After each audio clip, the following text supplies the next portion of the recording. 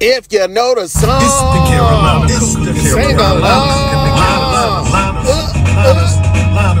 Rockin' home to the road. When me and my son first entered the building, we left and went around the building to try to find another way in because we didn't know this was the entrance. I thought that we were in the wrong place.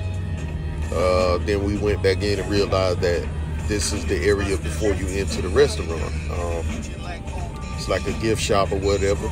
I've owned a, uh retail establishment before, and this is a good idea for impulse shopping. You know, um, it was pretty odd, but hey, you're welcome. It's. It's show. Show.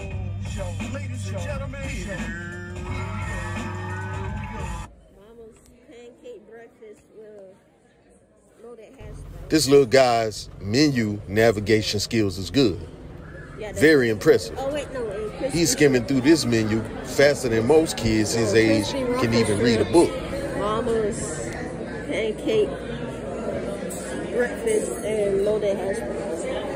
All right, I hope you remember all that. I'm an artist, so I got an eye for art. This nice rustic looking uh, fireplace caught my eye, so I had to get up and uh, take a look at it and catch it on camera. It's pretty neat. I'm just giving y'all a glimpse of the menu right now. Uh, so y'all can just catch a glimpse of some of the items. There seems to be a lot of Southern comfort type items on the menu here. Oh they got. Yeah, this menu is full of uh, Southern classics here. Uh, some of the stuff you see on a Sunday morning growing up for Sunday dinner, man. Yeah. So I hope it's good. This will be my first time trying it. I'm trying to decide what I want to order. Sometimes a hostess can make you feel like you only got a split second to order. You feel like you're on Family Feud or something. But unlike Family Feud, they give you a few extra minutes. Is your tea yet? It is not sweet, ain't it? this tea needs some help, yo. I'm going to give them the benefit of the doubt here because there's plenty of sugar on the table to sweeten the tea to your preference. There was a couple seated here. The guy ate all of his food and the woman left all of this food untouched. Guys, what would you do if you took a woman out on a date and she left her food untouched that you paid for? so what do you have, I got pancakes. I got sausage, eggs, bacon, apples. Apple without the pie. Yeah, And what you got there? They gave you 100% natural syrup. Cracker Barrel syrup. That's their own syrup. Pour that on there real nice like. The reason I told him to pour this syrup on here real nice like is because I know when I went back to do the edit, I already had it in my mind's eye that I was gonna do the syrup being poured on in slow motion. It's just something about that pour, that is just it's just something about that slow motion pour on the syrup, man. That that's just special. I think you're scared of that syrup, man. The way he was pouring it on, though, I really didn't have to do it in slow motion. Now he trying to speed up after I said so, after I called him out. All right, and I have a meat. I want one of. I have meatloaf with steak fries.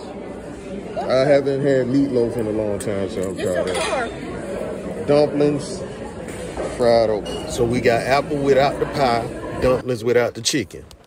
They gave us a spoon to eat with this. Yeah, spoon and knife, no fork.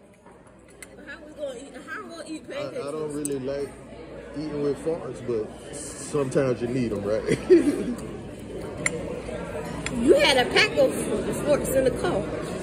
That's right. I always carry a pack of forks and spoons in my car because you never know when you'll need them. It's as important as a gas jug or a spare tire.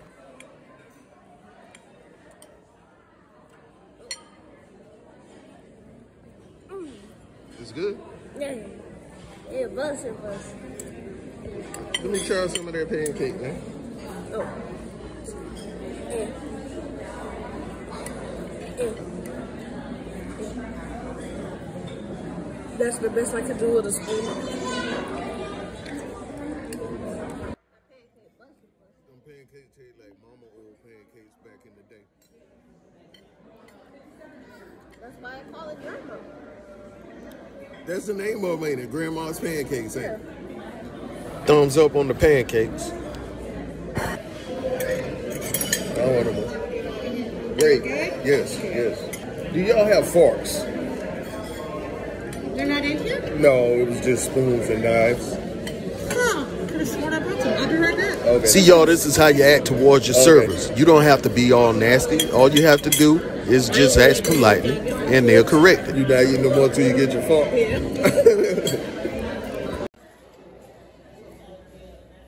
me try these fries with the syrup. It won't surprise me if my son becomes a great chef one day, because he loves experimenting with food, trying different things. Look at him; he's focused too.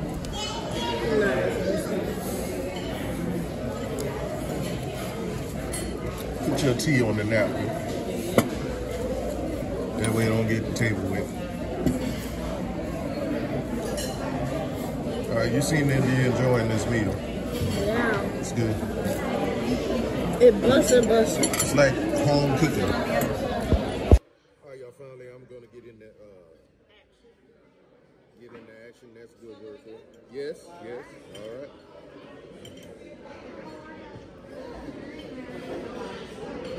Uh, I need to try this. The dumplings are actually pretty good. They were a little stuck together, but they're pretty good. The sauce is good. Try, This the first thing we ate. We try the meatloaf. It looks like good home cooked meatloaf.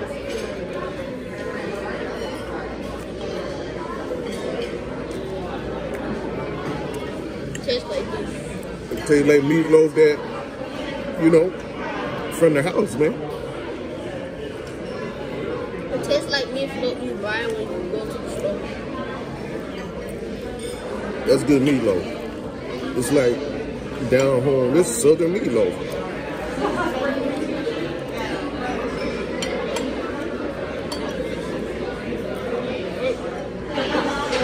Yo, meatloaf busting.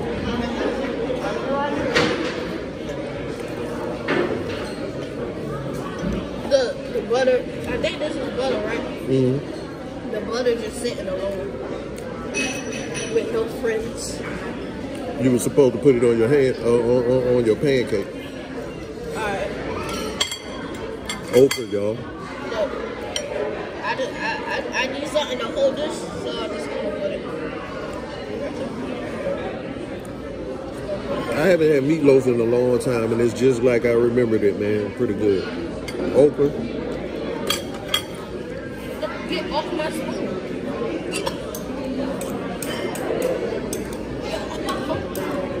I guess I have a little bit of um, butter. The fried okra is not really seasoned. This pancake's busting, busting. I see some specks of black pepper on it, but that's about it. And it's not really fried, crispy, hard, dark brown. It's a light fry. Not bad though, it'll do. I mean, you wouldn't expect uh, fried okra to taste spectacular over the top, but could use a little more seasoning. Look, Pac-Man. Y'all gotta see this. Pac-Man. Pac-Man. So you made Pac-Man with a pancake. Yeah, now it's time for Pac-Man to die and get Now my you done belly. broke you done broke Pac-Man's jaw. Now it's time for him to get my belly. You broke Pac-Man's jaw. Think fries and uh meatloaf. What you about to do? Eat your hand? Putting ketchup on your hand? I didn't think fries and meatloaf would be a good combination, but check it out, right? You can take your fry and just dip it in your meatloaf ketchup. I really didn't want fries, but when I saw steak fries on the menu, I thought they meant cut steak that was dipped in batter and fried. Actual steak fries.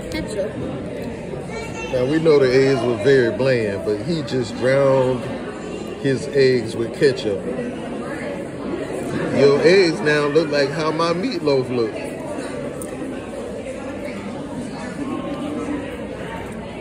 And you say it's better now? Yeah, it.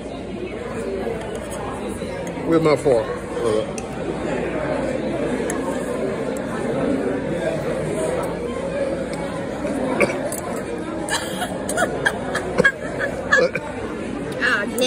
You didn't ta- work. all you taste is ketchup, man. That what makes it better. About to put sugar in my tea. it needs it. I ain't gonna, I'm not gonna lie. I don't smell nothing.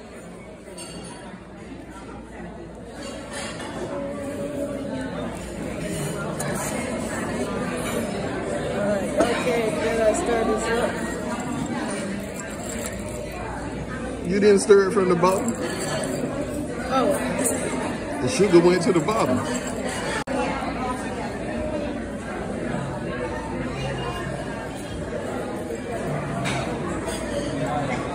it's better. Didn't help. no. Probably gonna need about five more packs. He's up to something. Instead of grabbing more sugar, he grabbed the salt shaker. This is about to get interesting. Pepper is hot, right? Yeah. A little bit of salt. And stir it. Have you ever, ever, ever in your long-legged life heard of salt and pepper iced tea? It still tastes nothing. So no matter what you put in it, oh wait, now I can taste it. terrible. I can taste salt and pepper. Uh-huh. Now you know that wasn't a good choice. You're still drinking though.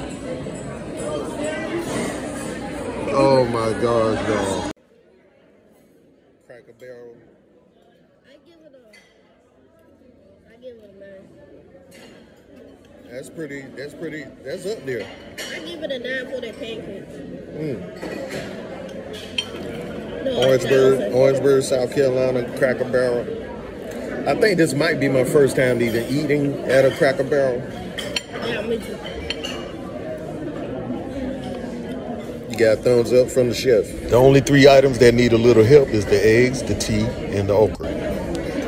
Like, share, comment, and subscribe, y'all. And if y'all ever had a Cracker Barrel before, what's y'all favorite item or whatever? You know, what's y'all take on it? You know, leave some comments below. Eat. And shoot some places out there that you would like me to try here in South Carolina. Your suggestions are welcome. So y'all, our total is a whopping what?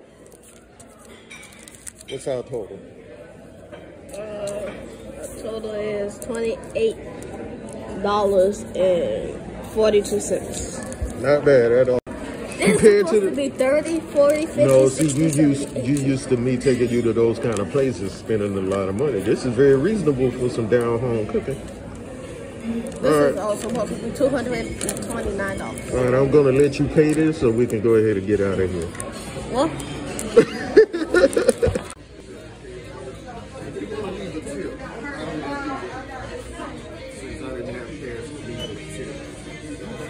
So basically, you end up where you started at in here, back in the uh, retail area, to pay for the meal. You don't, you know, pay by leaving your credit card with the uh, waiter or nothing like that.